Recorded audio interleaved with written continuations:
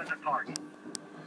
So, Yeah, but I interpreted something going on the wrong way. I am apologizing to you, Gentry. But But Will, my my my, my thing is hold on, baby, I'm coming with you. But my my thing my, my my thing is this, Will. I don't have a problem with you and with your interpret with your interpretation. My problem is that every time you've came there, it's never been an issue. We just got a shotgun in there. You know what I'm saying? So, like you saying about the other stores or whatever, I can't speak for those people at those stores. But like I sent you in a text message, every convenience store you go in, if you see the gun or if you don't see the gun, it's there. Especially with Arabians. I do business with Arabian guys. And they got more, they have more guns than I have. I have that one shotgun, and that's strictly there for people to only see it as a precautionary method. That's it. You've never seen that no other time you came my store but the last time. So when that guy, that's what I'm trying to tell you. When that guy who came there and he said that, I'm like, why, why would he say something like that? He's like, he just told me, man, be careful when I come over here because he saw a gun and you told him to go in the cooler real fast and about the late because because somebody else was coming in. I'm like, how can he interpret that as for saying be careful? For me, that's bad business. It's bad for business because I've never had a problem with that guy and I never had a problem with you. For me, I felt like it was more of a what's the right word to, to, to use? It was more of a what's the, what's the word I'm looking for? I'm trying to think of a what's a good word to say. Uh, hold on one second, man. What's the word when you when somebody start trying to size you up and they're wrong? It, what's the word? I don't know. what The word is on the tip of my tongue, but it's that. It's like you sized us up and you you you you was all wrong, and then you told this guy that. So now he's thinking a certain thing, and and and, and it was completely opposite. Not there. That lady works for the liquor company. She was coming in because I told her coming on Friday because I whatever day that was you was there. I needed to talk to her because this was her second or third time sending a bad liquor order, and I had to address that problem. I don't want to have to address that problem and in turn with somebody like you who I'm doing good business with, and have to address another problem. That's why I'm trying to apologize that I misinterpreted. That's what I'm trying Yeah, yeah, man. wrong, and that was a liquor lady. And I'm apologizing to you for doing that. I'm sorry that I misinterpreted it.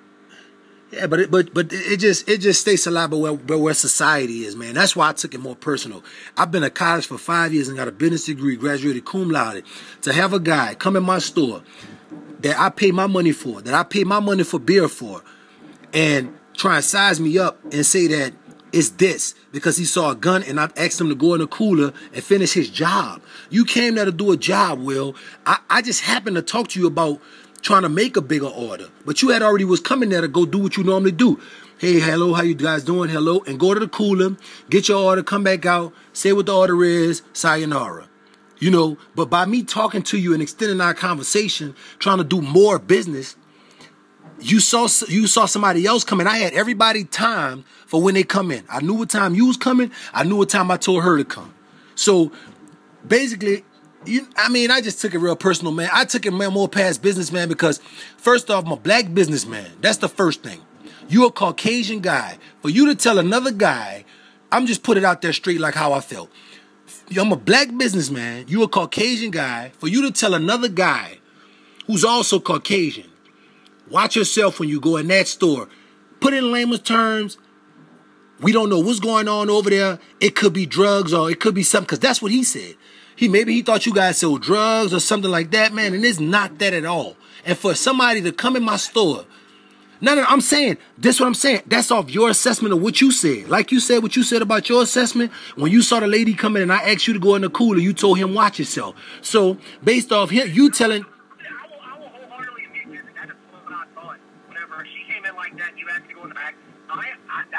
The, situation that I assumed was that there was a deal going on, and you didn't want me there for it. Which, like I said, if I assumed wrong, I apologize. It has nothing to do with you being black. That's not the situation. But you, but you Like figure. said, But you figured it was drugs. How could you? That's what I'm trying to say. How could you figure it's drugs when you when you've never came my store? It smelled like marijuana. You never saw drugs. All you saw was a gun. That's what I'm saying. That's what I, that's what I'm saying. Will I'm getting past the part of of you doing it. I'm saying that. How can somebody? If I saw you on the street and I saw your wife with a black eye, that would. Who am I to assume that you punched her in the eye? You understand what I'm saying? That's where I'm taking it to. How can I assume this guy Will is out with his wife and he's out with his kids and his wife got a black eye? Man, that guy's beating his wife. That's an assumption. I can't make that type of assumption because I don't know you past you coming to my store and taking my order. I don't know what your life like outside of Budweiser. I don't know what you do. You could be a cokehead, meth head, or I don't know. I don't know that. So I can't assume that and say, oh, this guy. Now, I'm not taking it as far as I'm thinking you're a racist guy or something like that. No, I don't think that. But I think that you over assess something based on what you assumed. And what you assumed was like dead wrong. And on top of that assumption, like I've never given you reason to even assume that Uh, other than when she came in, I asked you to go ahead on and finish what you came to do. I was only asking you to go ahead on and do your job, but you took it as I'm making, I'm running you off so I can take care of some other business that's drugs, like you just said, and that's incorrect, man. That's that's totally incorrect, man.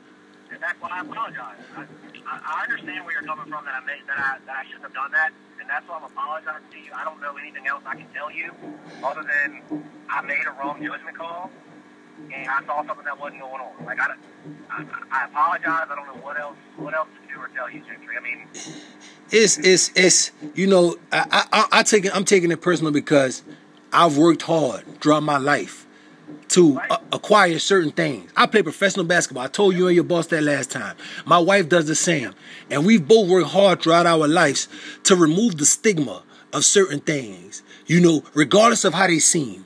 You know, regardless of how they seem, to have a guy come in, such as you, come in and size up a situation. And then not only did you size it up, I would have preferred you, like you said, you thought it was drugs. I would have preferred you came in at the end of the day. You left, she left before you did, I believe, if I'm not mistaken. Or if not, if she didn't, pull me to the side, hey, Mr. Lewis. I don't know what's going on over here, but if it's drugs or something like that, we're not going to be able to service you. Versus going back and tell another guy that and then that guy tell another guy that. Then that then it's a whole thing that started, and then to get back to another company. You understand what I'm saying? It's more bigger than your words were so damaging that when my brother told me, I was in complete I was in complete shock because I had him on speakerphone when he was telling me sitting with a guy who works for the mayor, who I do who another guy who I'm trying to do some business with for the kids in the community. So when he hear that, all of a sudden now he's like, wait, wait, wait, wait, wait, wait, wait a minute.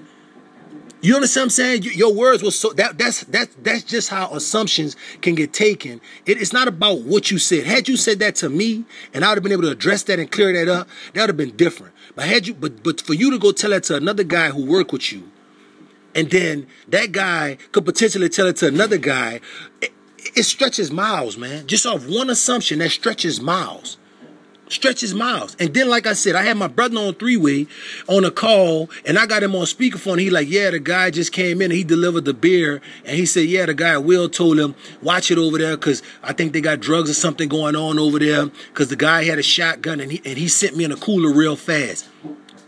You came there to do a job. You didn't come there to talk to me, Will. You know what I'm saying? Yeah, I, I mean. I, I don't know really how to assess that, man. And you know, I really don't know, man. I really don't. You know, I I really don't. I can't I can't even I can't even say because all I can say is this: I got friends who do business all the time. And if this was a situation like this with them, you know, I, I, asked them about how would you have handled this situation. You know, they would. I don't want you. I'm not trying to take it as far as you losing your job or something like that. But something like this, you got to be mindful in the future that it's a possibility that somebody cannot be as heartful as I am and not take it above and behind. They can try and go to your superior or something like this. Man, this is something that could potentially make you lose your job, Will. Just over one comment. You know how this business is, man. One thing is damaging. One thing can damage everything. And that particular statement right there, and for that guy to come in after you left a day or two later and say that to my brother, and he and and, and you've never saw drugs, all you saw was a shotgun. That's a, that's a huge stigma. It's a huge stigma, Will. It's a huge, huge stigma. And and like I said, I'm not there in the United States right now. My brother's handling all the business, but I, I, gotta I gotta be honest with you. I'm still very upset about it because, like I said, I had my other guy who I do business with, and I had him on speaker. I had my brother on speakerphone when he was telling me about when the guy came, and now this guy. I don't know if there. I haven't heard back from him in, in, in about a week now. I don't know if there's a bit of reluctance or what. But he was another Caucasian guy, so he may think that you know, based on what my brother was telling me, hey man, I need to back up.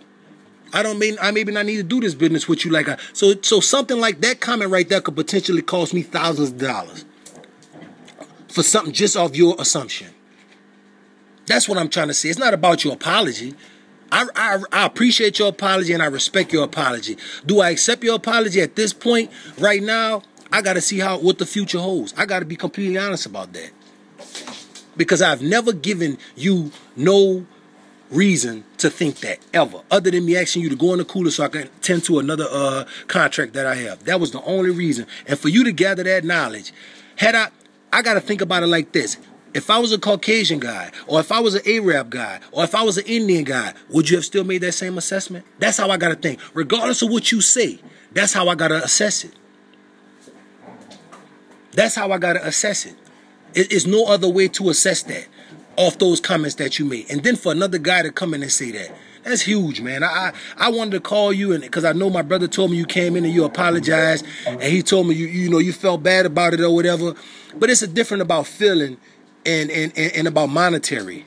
Your heart can be in one place, but your pockets can be in another. And that potential comment could, could possibly cost me and my family thousands of dollars, man. Really. Honestly, truthfully speaking. Just based off that comment and your assumption. I didn't. I got your supervisor number in my phone. I didn't call him. I wanted to call and hear your reasoning behind it. Do I do do I understand your reasoning behind it? No. I mean because I understand it to the point to where as you know what you saw about the gun and the lady coming in, but that lady could have been my wife, and I didn't want to argue in front of you. It could have been a million and one things other than drugs. Why did it have to be drugs? That's all I'm I'm curious about. I don't know and you said other stores in the area, that Arabian guy, he's cross-eyed, there's no way he could be dealing drugs. The two Indian guys call the police every other day. There's no way they could be dealing in drugs. So you can't say it's the area. Yeah, the area is known for drugs, but He's got this African American guy over here now in this area. It's known for a drug tra- uh, a traffic area. And now this guys over here, he must be in on it. That's your assessment. That was what you thought. You and then you threw in the mix the other two companies, the other store down the street and the other guy down the street because you didn't want me to make me feel bad. I feel terrible regardless of what you say about it. Regardless, that's just me because I know that that's not what's going on, and that that wasn't what going was wasn't what's going on that day. But had you, like I said, I won't hold you because my wife waiting for me. But had you addressed that to me that day, I would have cleared up any assumption you had versus going back and telling those guys that, and those guys going back, they could have told their girlfriend that. That could have been potential customers. Everybody who come in, I look at them as potential customers. I handle them in a certain kind of way. Both of my brothers handle them in a certain kind of way. Every time you came in my store, first thing I've asked you, how you feeling, man? Are you thirsty? You want something to drink? Every customer I have, every contract I have, I handle them in that profession, in that professional manner. My wife makes sure I handle them in that professional manner. I've never cursed with them. I've never handled them in any kind of other way. And for you to make that assessment, it baffles me. Honestly, baffles me. Based on what you saw. You didn't see any drugs. All you saw was a gun and a lady coming the door who could potentially have been my wife. Think about that. That's that's what things you got to think about when you're dealing in this kind of business. I understand your position. I understand all of that. But for you to go back and tell another guy that, you could have to, to, to basically like you you updating him or giving him the heads up. Yeah, yeah, that, that that's huge, man. That's huge. I don't know how you can give a guy heads up on nothing. You know, I, I don't know. That's just me, man. Like I said, you saying it's not because I'm black, but I can't see no other reason. They got an Indian guy up the block. It's another Indian. They got an Arabian guy up the other block. I mean, He's never said if, like I said, had he said that the first day he came to my store, man, you know this this area, or, you know my my this guy said this about that, that'd have been something totally different. But we've been open for two months now, and that guy's came to the store every week for the last two months, and all he's been is nothing but cool and held conversation. That's it. He's never mentioned nothing like that.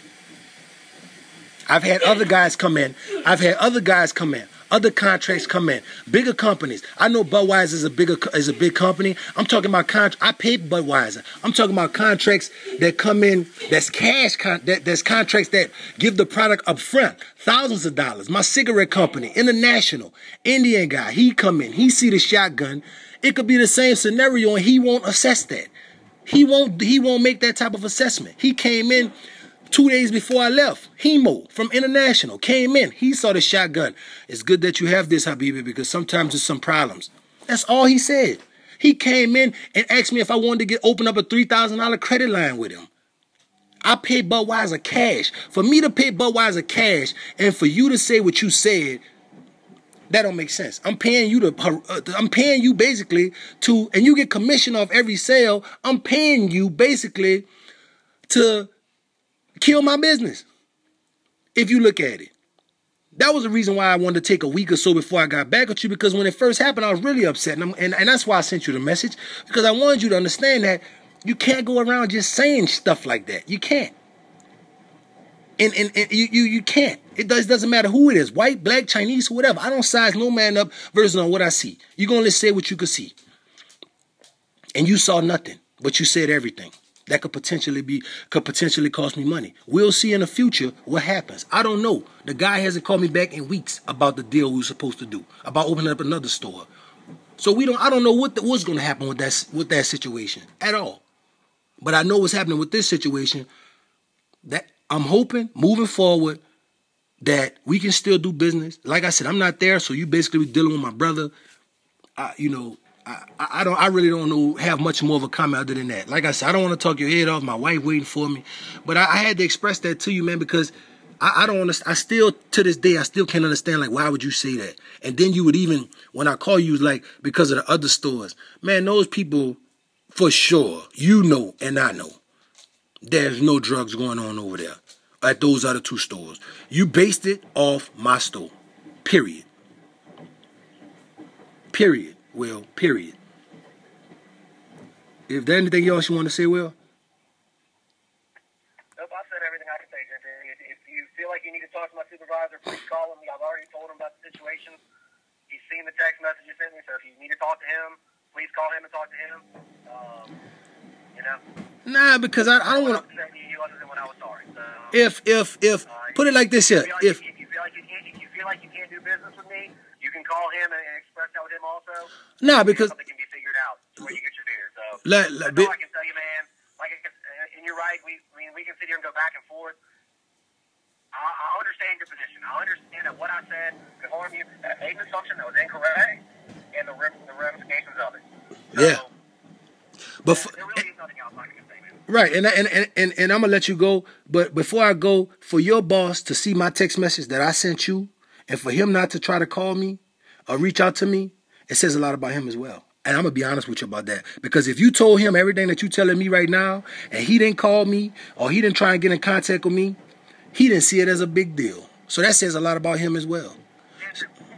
I got your text message on Saturday. Mm-hmm. I let him know Monday morning. The first thing he did on Monday come with me and ride to your store. Okay, okay. Okay. That's the first thing we did Monday morning, and nobody was open. So then your brother called me later. I told him what was up, and I apologized.